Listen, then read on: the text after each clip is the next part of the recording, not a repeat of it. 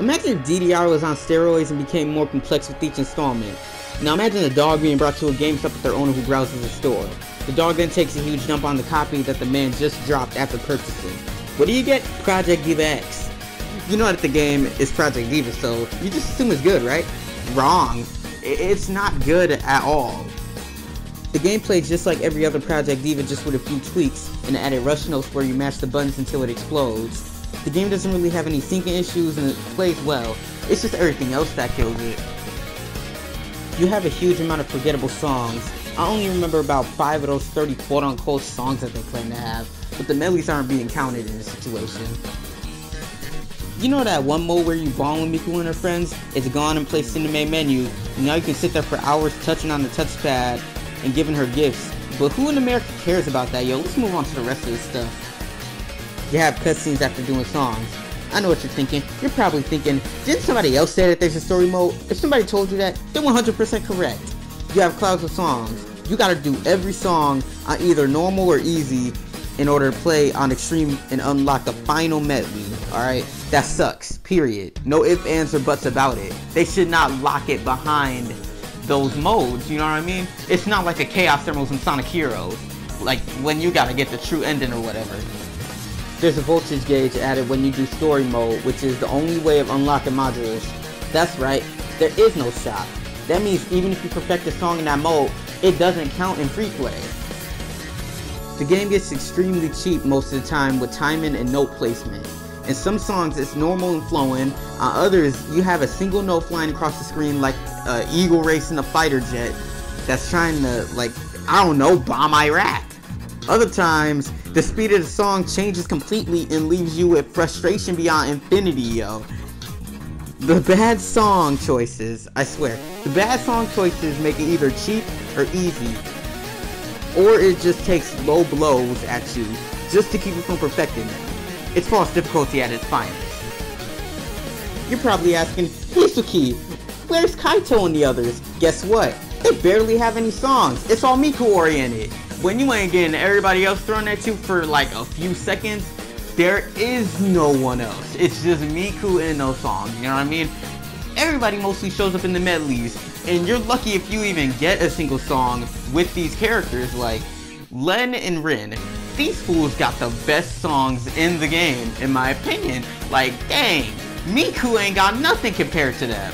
You know what I mean? Kaito, his song is good. That joint is just so cheap, yo. It's cheap. Like, look at this footage. Hidden stuff, you know, this is the pitch change that I was talking about. They got that joint, you know, that was the pitch change out of nowhere. It gets faster. First song is slow, then it got faster, you know what I mean? It just sucks. It sucks how they did it. This is a bootleg Project Diva and I wouldn't recommend it to anybody. It's not a good first impression. It's a poor man's Project Diva, alright? The ones that I tell you to get, if you can afford them or even find them, are Project Diva F, Project Diva F Second, and Future Tone. Those are way better and they'll show you how good the series is. Project Diva X gets a 4 out of 10. See, like this Diva Room stuff, it's put in the main menu. So pretty much, instead of going in the Diva Room and then, you know, they talk to you and stuff, it's in the menu. No lie. See, this is the joint with the tempo switch. The tempo switch. This is the joint. That's the Kaito song. When the star flies all the way across the screen, that was the joint. This this this song is just boring, bruh. It's a medley, so it's not counting as a song. Medley. This medley. Medley, man. Uh, this medley. I like this one. I like this one. All right. This joint is cheap, super cheap. This joint is boring boring. I like this one, yo. It's one of my favorites. This is boring. Super slow. Super boring. I, I like this one. I perfected that joint on one try. This joint, I like it.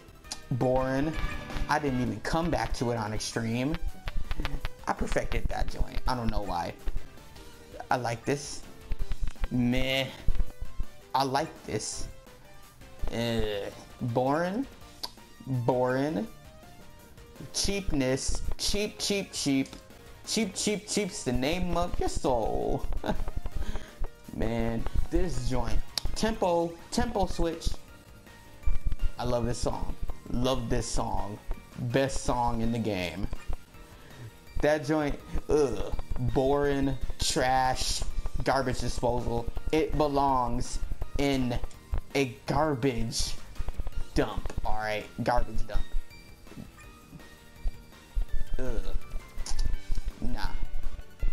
Mm-mm. Nope. I don't even know why I tried that one. That joint, I I didn't even try it. That was super boring. I couldn't even do it. And uh, it wasn't good. That joint sucked. That's all them joints. like, come on. These is my joints. I have barely even like I barely even scratched the surface of these songs. Like I didn't I didn't even try to get like a perfect or nothing. You know what I mean? Like this this section is so unscripted. Like you could tell. I mean, I ain't cutting nothing. This is legit the end of the video. Thank you for watching. Y'all ain't got nothing on me. Watch watch the playlist. Do it.